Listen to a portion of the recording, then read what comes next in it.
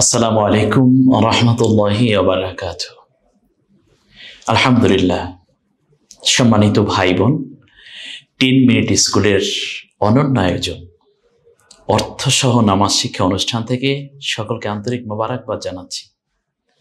আমরা ইতিমধ্যে মৌলিক দুটি জিনিস একেবারেই ভালো করে দেখার চেষ্টা করেছি। এক নম্বর হচ্ছে, আহকাম সাত ফরজ আরকান ছয় ফরজ এবং চোদ্দটি ওয়াজিফ, যেটা নামাজ আদায়ের জন্য অপরিহার্য উপকরণ। এরপরে আমরা দ্বিতীয় এপিসোডে দেখার চেষ্টা করেছি, আহকামগুলো কি কি? সাতটি ফরজ, অর্থাৎ নামাজের বাইরের ফরজগুলো।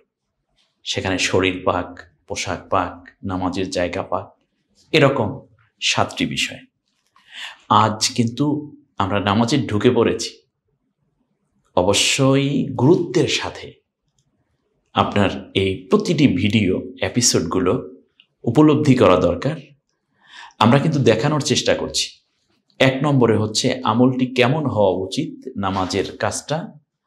দ্বিতীয় হচ্ছে আমরা কোন জায়গাটিতে ভুল করে থাকি স্বাভাবিকভাবে।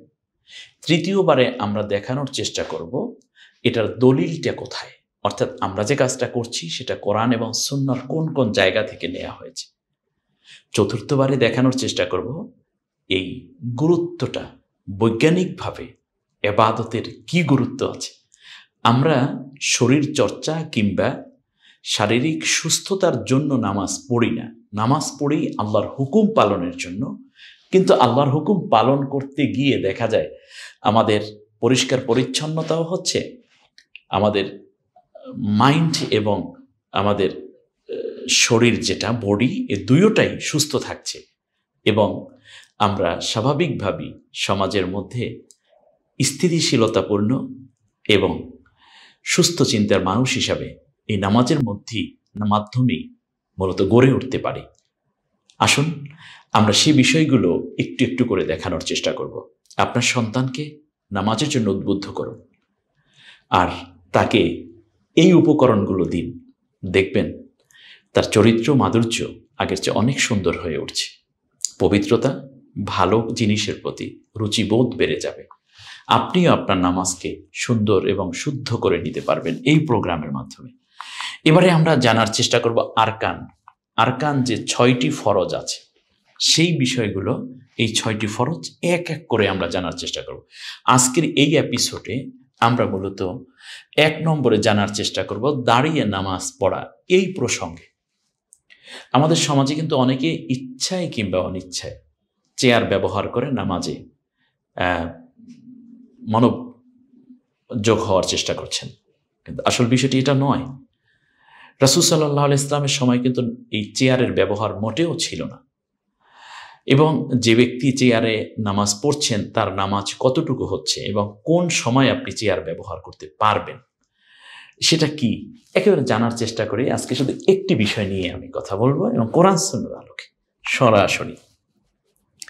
তো এখানে যে ছয়টি বিষয় ছিল, সে ছয়টি আমরা আরও একবার দেখে নিলাম। দাঁড়িয়ে নামাজ পড়া, তাকবিরে তাহারিমা বলা, কিরাত পড়া, রুকু করা, সাজদা করা আকিরি বৈঠক করা। ব্যাস। এবারে আমরা দাঁড়িয়ে নামাজ পড়া প্রসঙ্গে আল্লাহ রব্বুল আলমিন নিজে বলছেন, ইয়া আইয়ুহাল্লাদিন আমানু ইদা কুমতুম ইলা কুমতুম, আমি এখানে লাল কাল দাগ দিয়ে মানে এটাকে লাল করে শব্দটিতে মূলত আইডেন্টিফাই করার চেষ্টা করেছি, দাঁড়ানোর বিষয়টিকে আল্লাহ প্রায়োরিটি দিয়েছেন। কুমতুম, কমা শব্দের অর্থ সে দাঁড়াল। আর কেয়াম শব্দের অর্থ হলো দাঁড়ানো। তাহলে কুমতুম আর নামাজে দাঁড়াও। আল্লাহর ডিমান্ড কিন্তু নামাজে দাঁড়ানো।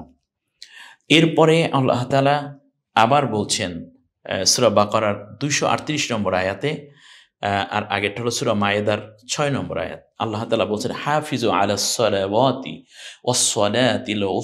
অকুমু কুমু মানে তোমরা দাঁড়াও। দেখুন, কুমতুম কুমু মানে নামাজের জন্য দাঁড়াও। মানে দাঁড়ানোর প্রতি ইঙ্গিত করা হচ্ছে। এরপরে আল্লাহ রসুল সাল্লাহ ইসলাম বলেছেন মাং কমাফি লাইলাতিল কদরি ইমানা ওয়া ইহতিসাবা, গুফের আল্লাহ আল্লাহুমা তাকদ্দামা মিন যাব্বি সই হাদিসের এই কথাগুলো রাসুল সাল্লাহ ইসলাম বলেছেন, লাইলাতুল কদরে যে দাঁড়াবে মানে নামাজে কি? দাঁড়াবে। তাহলে ইমান এবং এহতেসাবের সাথে তার আগের জীবনের সব গুণা মাফ হয়ে যাবে। রসুল সাল্লাহ আলাইসাল্লাম এরপর আবার বলছেন, আন ইমরান ইবনে হুসাইনিন রাজি আল্লাহ তালা আনহু কল কানা বিন নুসুরি فسألت فسألت النبي صلى الله عليه وسلم وقال صل قائمة فإن لم يستطع فقاعدا وإن لم يستطع فعلى جنب রসুল সাল্লাহ আলিয়াল্লামের প্রিয় সাহাবি হুসাইন ইমরান ইবনে হোসাইন। তিনি রসুল সাল্লাহ আলিয়াল্লামের কাছে এমন অবস্থায় আসলেন যা নসুর নামক একটা রোগ। এ রোগটাকে আরবিতে বলে নসুর, আর বাংলায় অর্থ হল পাজরে ব্যথা জনিত এক সাইডে তার ব্যথা পাজর বলতে আমরা যা বুঝি, একটি পাশ অথবা এই কোনো এক দিকের একটা ব্যথায় তিনি আক্রান্ত হয়ে রসুল সাল্লাহ ইসলামের কাছে এসে বললেন, রসুল, আমি কীভাবে নামাজ পড়ব? রসুল সাল্লাহ ইসলাম প্রথম নির্দেশ দিলেন, সল্লি কয়মা, তুমি দাঁড়িয়ে নামাজ পড়বে।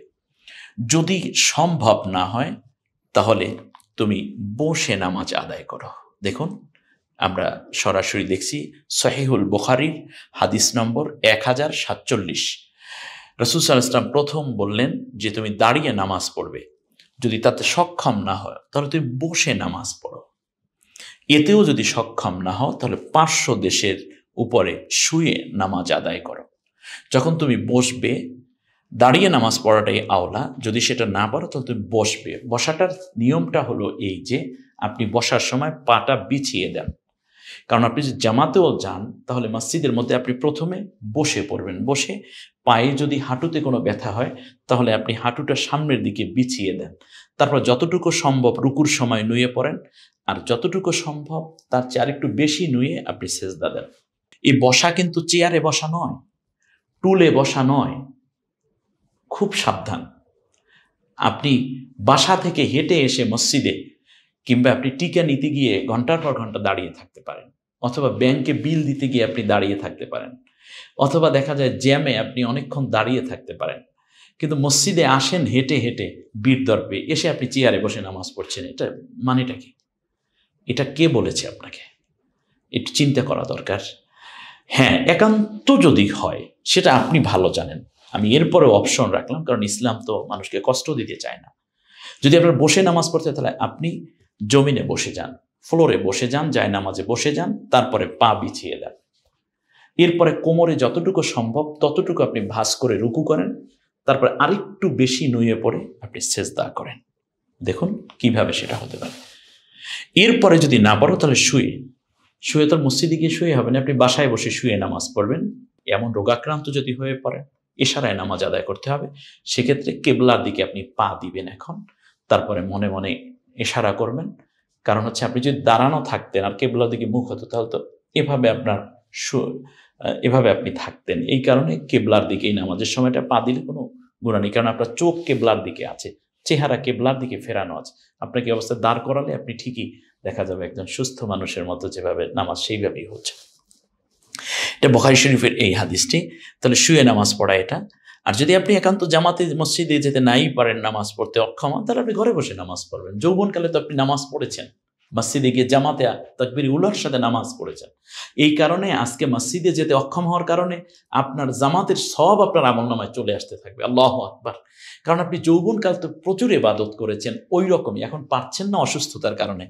এটা আপনার হবে একটা প্রাপ্তি, যেটার দ্বারা আপনি মূলত আগের আমলের কারণে আপনি এখন পাবেন বোনাস সওয়াব।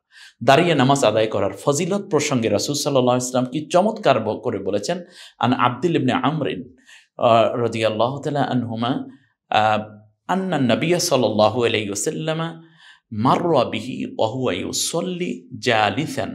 ফাকলা, সলাতুল জালিসি আলান নিসফি মিং সলাতিল ইমি কি চমৎকার কথা রসুল সাল্লাহ ইসলাম বলেছেন। ইবনে মাজা শরীফের হাদিস, সুনান ইবনে মাজা হাদিস নম্বর বারোশো উনতিরিশ। রসুল সাল্লাহ ইসলাম বলেন, আব্দুল ইবনে অমর রাদি আল্লাহ তালহুমা বলেন, রসুল সাল্লাহ ইসলাম একবার আবদুল্লাহ ইবনে আমর তাকে অতিক্রম করতেছিলেন। এমত অবস্থায় দেখলেন যে তিনি বসে বসে নামাজ আদায় করছেন, অর্থাৎ আবদুল্লা ইবনে ওমর।